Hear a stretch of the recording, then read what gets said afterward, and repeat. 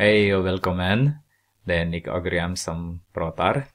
Ehm, Jag ska gå igenom kapitel 2. Det handlar om negativa tal då av boken Matematik M1A heter den. Ehm, skriven av Martin Holmström. Det handlar eh, som sagt om negativa tal. Ehm, negativa tal är kan man säga att alla tal som är mindre än 0, så alla tal som är mindre än 0, då heter det negativa tal. I Sverige så använder vi minustecken som negativa tal. Andra länder, det beror på kanske ni kommer att jobba eller eh, studera i något annat land, så använder man den här upp, lite upphöjt så, när man pratar om negativa tal. Och det blir kortare på något sätt än minustecken. Okay? Då pratar man om en negativ, negativa tal. Eh, som skillnad till positiva tal så skriver man så. Okay. Eh, I kemi så använder man dessa tecken för att beteckna om joner till exempel. Okej. Okay. Eh, i matematik då, vilken, vilka sammanhang eller vilka områden kan vi använda negativa tal? Jo, um, det beror på var du befinner dig, men uh, jag antar att du befinner dig i norr, norr Skandinavien då. Och då använde jag uh, filmade den här när det är vinter, så vi har ju negativa tal ute, eller negativ temperatur där ute, så temperatur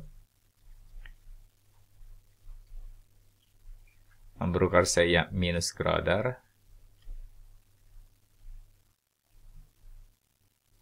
När vi pratar om negativa temperaturer då. Och i privat sammanhang kanske, om du har eh, förbrukat dina tillgångar och måste låna till exempel, köpa, köpa, köpa, då vi pratar om kredit då.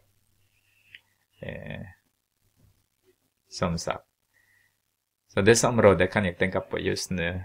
Um, om vi kan eh, visa till exempel i en linje då. Nej, det gick inte igen. Så linje. Vi ska försöka att det ska vara rak. Det behöver inte vara jätte. Om man visar i en tallinje så har vi noll i mitten där. Och eh, vänster till eh, nollan då, då heter de allihopa negativa tal. Okay. Och höger till nollan, det är det positiva tal.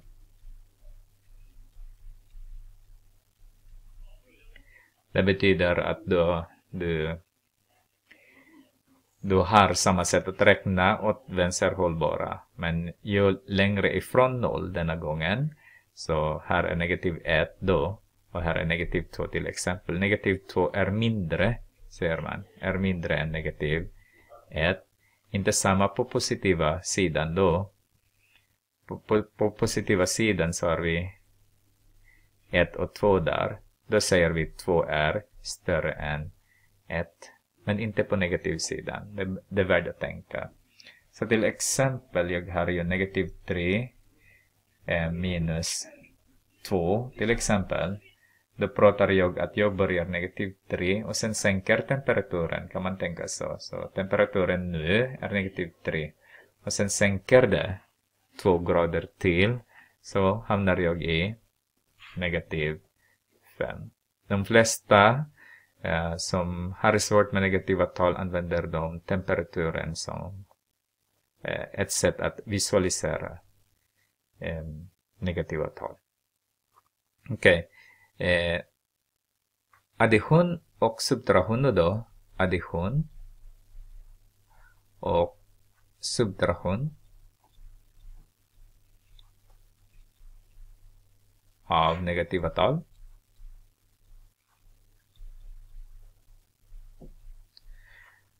Okay, så till exempel vi har en term som är negativ 3 plus eh, negativ 2 till exempel lika med om ni ser två som är eh, olika där. Den är jätteviktigt att ni måste förstå den, så ersätt den med negativ.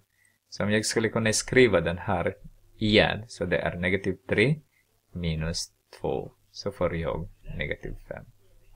I subtraktionssammanhang, så om jag har negativ 3 minus negativ 2, då har jag samma här.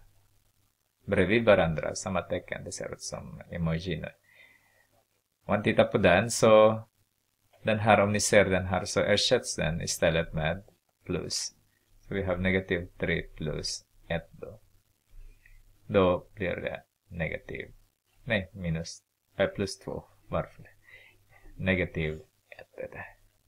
Eh, genom åren så har jag ju elever som förstår inte den här och blandar dem med multiplikation och division. Men kom ihåg att den här regeln gäller bara när det är addition och subtraktion. Um, när de är lika, då blir det positiv.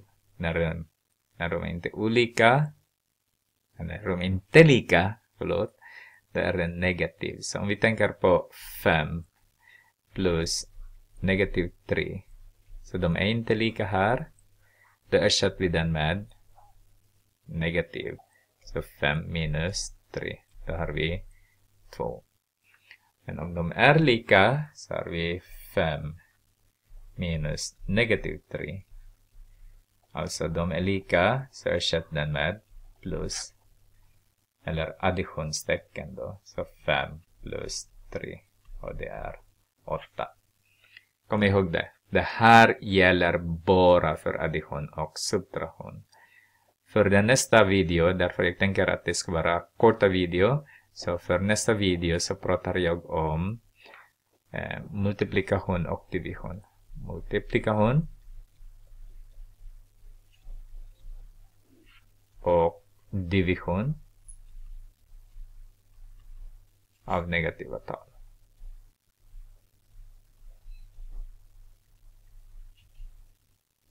Så vi ses. Ha det bra.